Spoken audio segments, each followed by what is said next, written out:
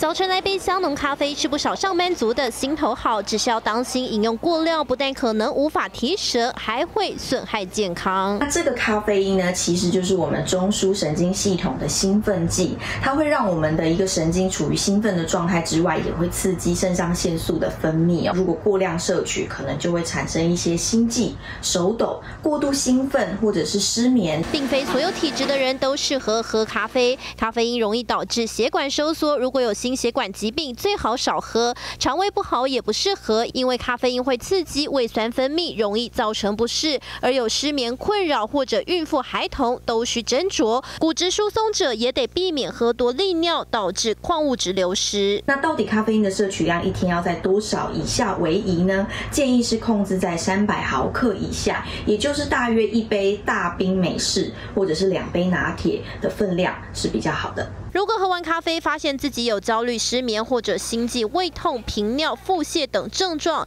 就代表身体发出警讯，必须减少摄取，也可以多喝水来帮助代谢。八大新闻曾宇勋采访报道。拿起手摇杯，一口接着一口喝下去，身心灵都感到好满足，但又有一丝罪恶感。不过，其实你喝下去的饮料和咖啡都可以算是补充水分，包含你喝的咖啡，然后喝的茶，然后另外还有可能是含糖的饮料，或者是食材里面像蔬菜啊、水果啊，里面都是有水分的。这些其实都包含在这个饮水量里面。一天当中的汤汤水水都能算进去饮水量，可是营养师要提醒别。因因此本末倒置，因为假设喝太多咖啡会容易造成心悸，汤里头也含有大量的钠，摄取太多会有肾脏疾病风险，还有饮料喝过头更会发生肥胖问题。因此为了健康着想，建议白开水就要喝到饮水量的六成以上。的饮水量一天，它的计算是用你的公斤数，然后乘以大概三十到三十五左右。可是如果是一般人的话啦，我们会建议，比如说刚刚一千八百 CC，我们会希望可能一半的量，比如说一千 CC。左右，它是要来自于没有含糖的水。水喝太少也会造成记忆力变差、头痛、头晕。因此，这些饮料跟咖啡还是不能完全取代白开水，适度适量摄取才是维持身体正常运作的关键。报道新闻，需要主张开台北从报道。上班族习惯一天一杯咖啡提神，开启工作模式。不过有国外研究指出，若吃饱饭后喝咖啡，短时间内容易造成血糖上升。如果我们饮食当中，如果你吃的比较多的淀粉，或者是说哦一些糖含糖量比较高的一些食物的话，你的血糖值当然就比较容易上升。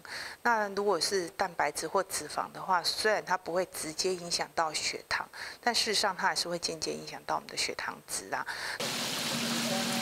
像这样的高油脂食物吃下肚，本身就容易让血糖升高。喝咖啡在刺激肾上腺素分泌，两者有加成效果，会影响荷尔蒙，因此糖尿病患要注意。营养师也提到，喝咖啡虽然会造成血糖的暂时起伏，但研究指出，长期下来反而有好处。咖啡里面它有一个叫绿原酸这种植化素，那这个东西它可以延缓血糖的上升，增加胰岛素的灵敏度。如果长期喝黑咖啡的民众，他血糖控制是比较好的。那另外一块就是咖啡的摄取量要注意到。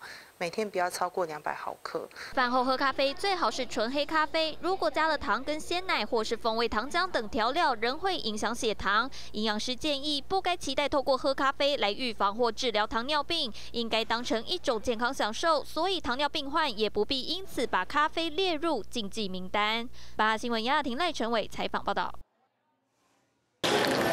台湾人爱喝咖啡，无论早上下午都要来一杯，喝了就有精神。甚至有人头一痛起来，马上灌一杯，立刻见效。但长期下来，却可能让头痛问题更加严重。不建议，就是说，如果你有习惯性偏头痛，用就用咖啡因来来喝，然后让你舒缓。因为咖啡因有可能你喝的剂量会越来越高。因为我们人一天正常能代谢的咖啡因量大概就是三百到四百毫克，不建议超过四百毫克。那这个量差不多就是一杯。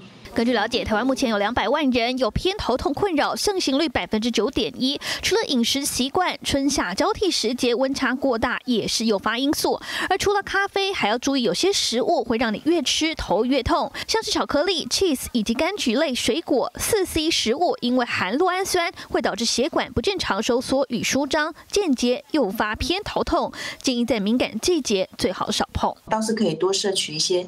呃镁离子啦，或者是钙离子啊，可以稳定跟安定神，比如说小鱼干啦、菠菜啦、豆腐啦等等，这些都是很好跟健康的。经常偏头痛族群，通常体内镁离子不足，想避免不舒服找上门，可以多吃坚果、香蕉等保护神经元的食物。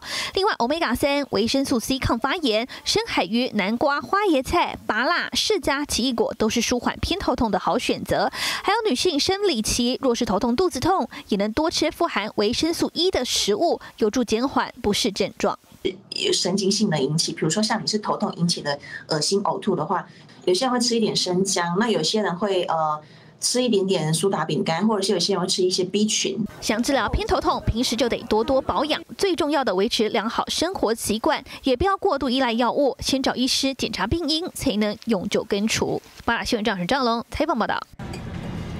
色泽清透燕麦奶，添上浓缩咖啡，这回换超商来开卖，就是要跟进燕麦奶风潮。之前就是有听朋友说，他们还蛮喜欢燕麦奶的口感。大家都在卖燕麦奶所以，就蛮想尝试的，其实都有去喝。因为台湾最近掀起燕麦奶旋风，从当正餐、甜点一路烧到融到咖啡内，市场估计台湾植物奶规模高达六十亿。星巴克先前还一度卖到缺货，连带让各家业者跟着抢卖。以超商为例，咖啡融入燕麦奶售价贵十元，连锁咖啡店更是贵。二十元，咖啡店还预估新品上市后能增加一到两成业绩，满足各个爱健康的心。很清爽，喝起来像吃燕麦一样。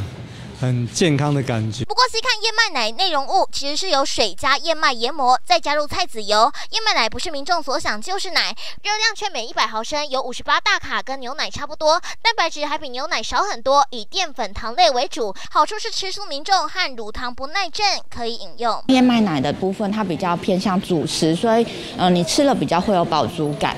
那对于说譬如说胆固醇血脂呃血脂比较高的人，他可能可以就是帮我们减少胆固醇。的吸收。营养师提醒民众，虽然燕麦奶也能促进肠道蠕动，但要跟主食做代换，免得热量爆表。热门健康饮品就怕引起反效果。八大新闻这么报道。